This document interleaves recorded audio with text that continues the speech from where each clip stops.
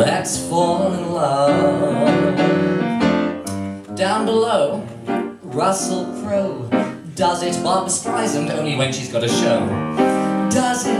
Let's do it. Let's fall in love.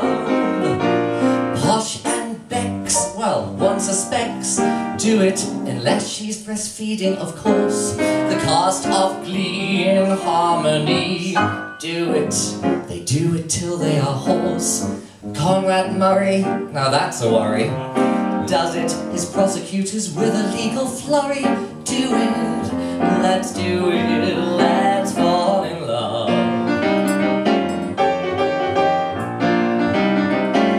Barack Obama, thank you, ma'am. Does it?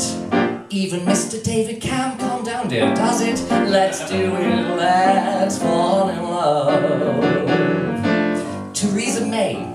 come what may, meow. Does it? Politicians saying aye or nay. Do it. Let's do it. Let's fall in love. Ed Miliband, though not planned, does it? Much to his brother's chagrin. Our London mayor, oh Boris, we love your hair, does it? He seems an awfully nice man. Wills and Kate, despite the weight, do it. Harry, since it's always been innate, does it? Let's do it, let's fall in love. One more? So I can. Demi Moore, alas, no more, does it? Polanski, though it's still against the law, does it?